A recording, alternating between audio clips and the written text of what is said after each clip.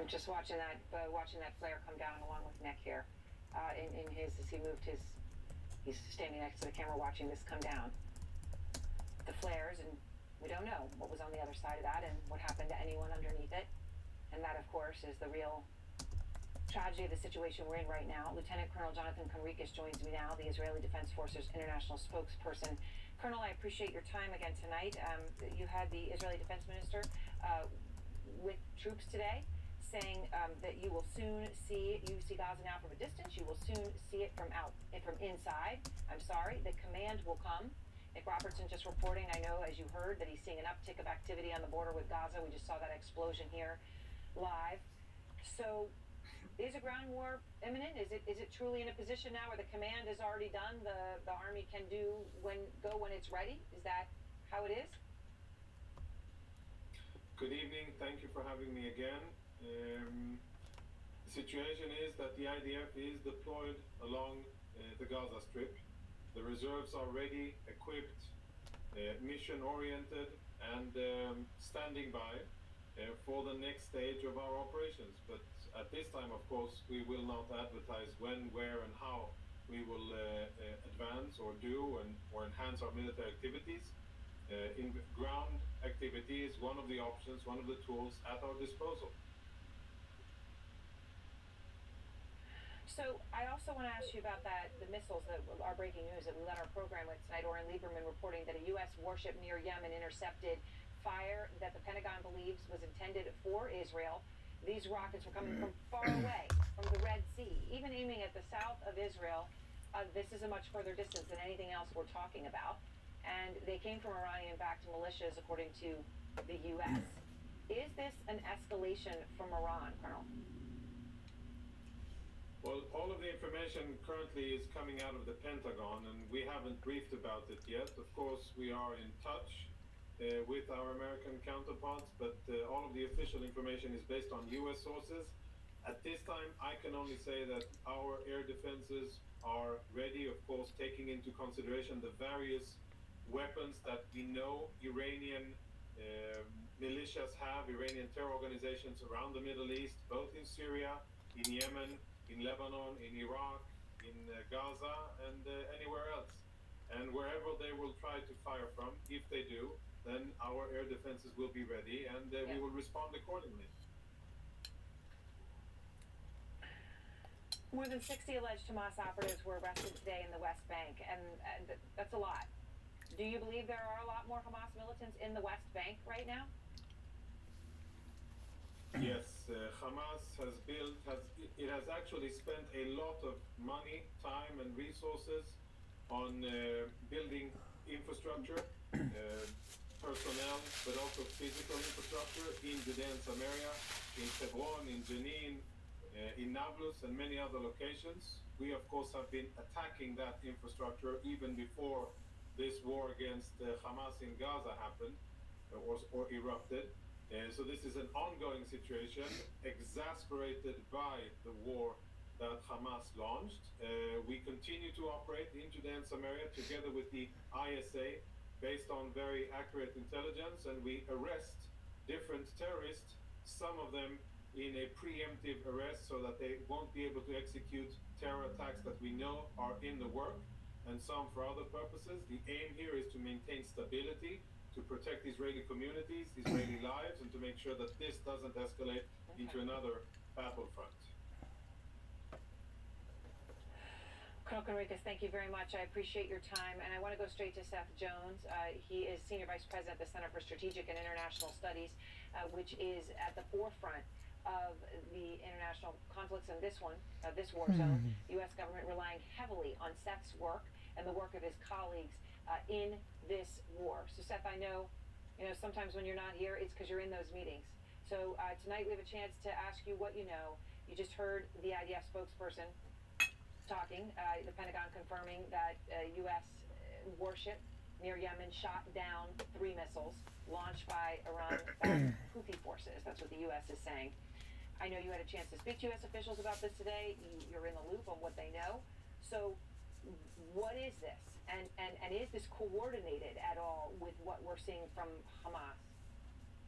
Yeah, thanks, Erin. These are great questions. Um, I think the concern as we take a look at the region right now is uh, that there is escalation right now. Uh, the uh, the Houthis who shot the land attack cruise missile and the drones are uh, funded, aided, and their weapons are provided by the Iranians, particularly the Islamic Revolutionary Guards Quds Force. Uh, but we've also, Oren indicated some of this as well, but we've also seen attacks against U.S. bases, two separate ones in Iraq, as well as in Syria within the last 48 hours. One U.S. Uh, forces at Al Tanf in Syria, the other one up at the Conoco oil fields. In addition to that, we've seen fire exchanges along the uh, Israeli-Lebanese border, and then obviously what's happened in the West Bank as well. Those are multiple locations uh, Iran has links with all of those organizations. We don't know at this point uh, to what degree Iran has actually orchestrated. These groups do not are not all puppets of the Iranian government, but it is a concern that we're seeing some escalation here. And so I know you also have been in contact with Israeli officials, and you know we hear the defense minister saying soon you'll see the inside of Gaza. What's the latest you're hearing about the, the Gaza plan? Well, two things. One is uh, is I think the the Israelis are indicating that they need to have a presence on the ground. Uh, that you know we're not clear at this point what the size of the force that's going to go in and how long it's going to go in for, but that it will definitely have a ground presence. But I'm also hearing uh, some what I'll call sort of good news is the IDF is definitely thinking about sort of reconstruction efforts uh, after buildings are destroyed and letting in some humanitarian activity into Gaza. So it's not just pure military operations that are as part of the planning process. All right, Seth, thank you very much. And next, President Biden is about to address the nation. We've got new details coming up on exactly what he's going to be focused on in his remarks uh, moments away, plus dispatches from Gaza. We bring these to you. And tonight, CNN journalist Ibrahim Dahman, who is trapped in Gaza with his young family, giving out front daily updates. And tonight, he's going to tell you about the strikes and the increase he's seen in strikes coming in. Remember, there is no water and there is no Iron Dome there. And I speak to a group of brave men who banded together to stop Hamas. And as you will hear, they found out that Hamas knew things about their community that they, as the security and people living there, didn't even know.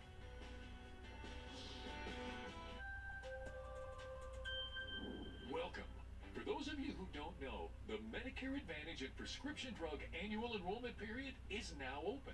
That's right, 2024 plans are now available. This is the only time of the year when anyone on Medicare can call and get a Medicare Advantage plan. We are opening up the phone lines now and inviting anyone to call in with questions or to find a plan available in your area. Can we show that number on the screen big for all of our viewers at home? Just call 800 385 1724 now. There are so many Medicare Advantage plans out there. So how do you know what plans are available to you? Our licensed insurance agents are hmm. standing by to take your call. Speaking of calls, we're going to go off. Mm.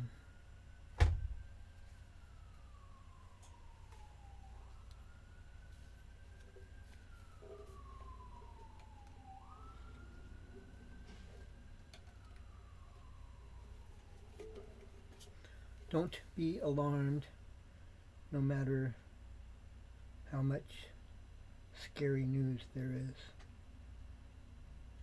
A song by Paul Beckman, Palu Rainbow Song. Also the new and first leader of humankind in the free world.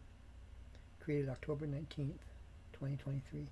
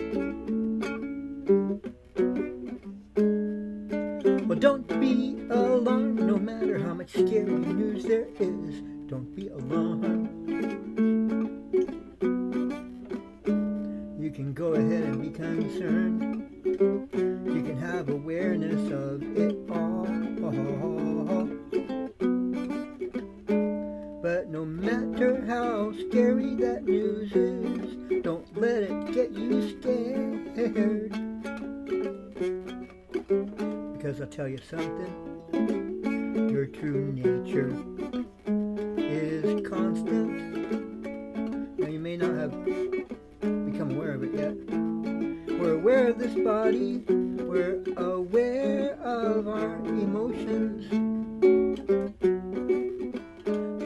lot of people are aware of the fact that there is a true self in them.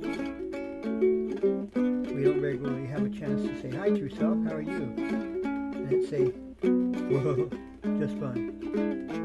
No, no, no, no, no. It's kind of hidden. But I just want to assure you that each and everything, each and every person and thing a true self. Has a true self. And this true self is beyond this normal human personality. Consciousness that we know. In fact, it runs the show. It's what you would say God. The soul. Now, I may not be an expert, but I feel that I know enough due to my love of yoga and meditation and the higher mysteries of yoga and meditation therein philosophically I have gleaned and so I'll impart now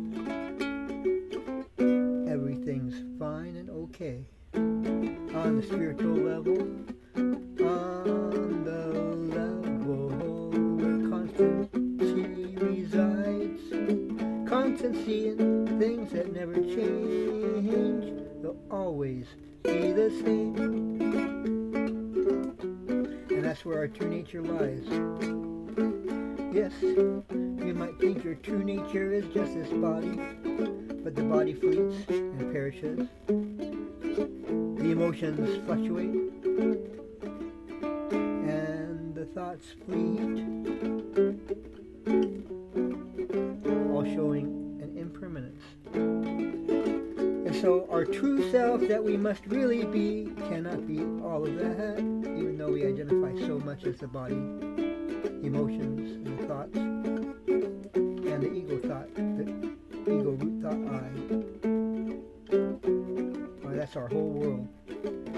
we are so much more than that. In fact, we are universal and void mind. Linked to that. We are that. But until you have experiences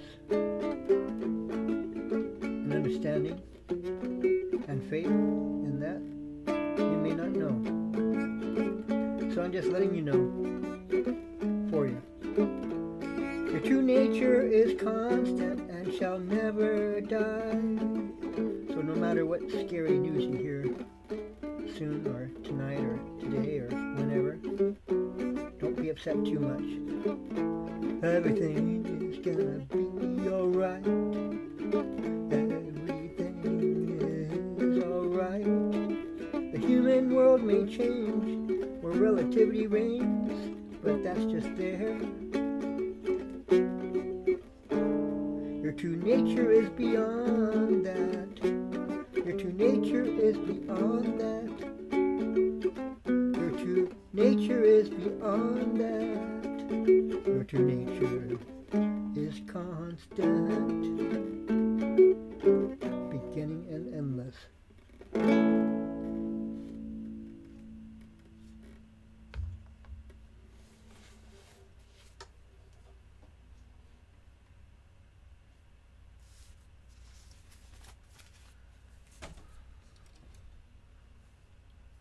Thank you. Namaste. I honor the divine in all. For an explanation of my mainstream name, Paul Beckman, New Age name, Palu Rainbow Song, and an utterance saying also the new and first leader of humankind in the free world, please go to Internet Solutions and Songs 24 7 at Palu Rainbow Song Bio on YouTube. Look for a playlist called Movie Song Reviews by Palu. And then there look for any videos and song videos that come under the category a special note. I'll give you an explanation for all that plus more. Thank you very much. God bless.